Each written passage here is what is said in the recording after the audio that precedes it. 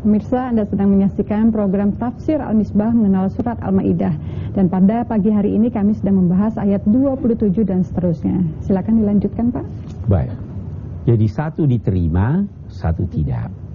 Dulu kata sementara ulama, kalau orang menyerahkan korban kepada Allah, itu ketahuan diterima atau tidak dari kalau korbannya itu disambar petir, dimakan api, itu namanya diterima Allah.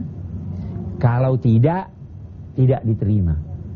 Jadi korbannya salah seorang di antara mereka yang diterima karena disambar api, yang satu tidak. Untung sekarang nggak begitu bu ya. Nah, kalau tidak orang bisa bilang ini. Oke. Okay. bila min ahadihima wa lam yutaqabbal minal akhar. Qala la'aktulannaka. Yang tidak diterima korbannya ini berkata saya pasti bunuh kamu. Dia iri hati.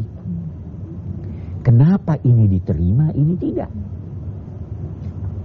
Saya pasti bunuh kamu. Kata saudaranya, kenapa kau mau bunuh saya? Itu bukan salah saya, tuh kira-kira maksudnya begitu. Itu bukan salah saya kamu diterima atau tidak, itu salah kamu. Kamu kurang tulus, kamu tidak pilih yang baik. Baru dikatakan, Inna yataqabbalullahu minal muttaqin. Allah menerima korban itu dari orang yang ikhlas.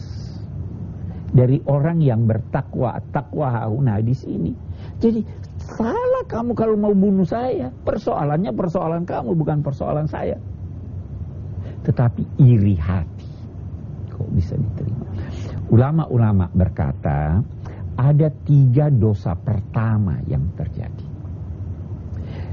Dosa yang pertama terjadi dari iblis, takabur, sombong.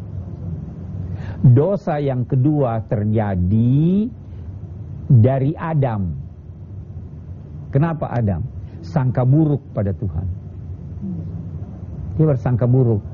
Iblis berkata kepadanya, "Eh, itu kamu tidak dilarang makan pohon itu supaya kamu tidak jadi malaikat supaya kamu tidak kekal." Dia sangka buruk pada Tuhan. Dosa yang ketiga antar manusia ini adalah iri hati. Itu sumber. Nah, Inna ma yataqabbalallahu minal muttaqin. Baik. La imbasatta ilayya yadaka litaqtulani. Kata Habil, kalau kamu mengulurkan tanganmu untuk membunuh aku, ma'ana bibasiti yadayya liaqtulak. Saya tidak akan mengulurkan tangan saya untuk membunuh kamu. Nah, pelajaran dulu kita lihat di sini. Dalam ajaran Al-Quran, kalau ada orang mau bunuh Anda, jangan membunuh dia. Nabi bersabda begini, itu prinsipnya. Izal taqal muslimani bisayfihima al-qatil wal maqtul finnar.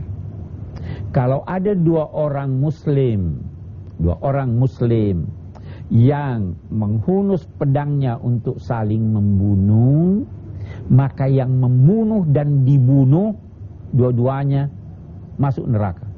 Kata sahabat, ini dia dibunuh wahai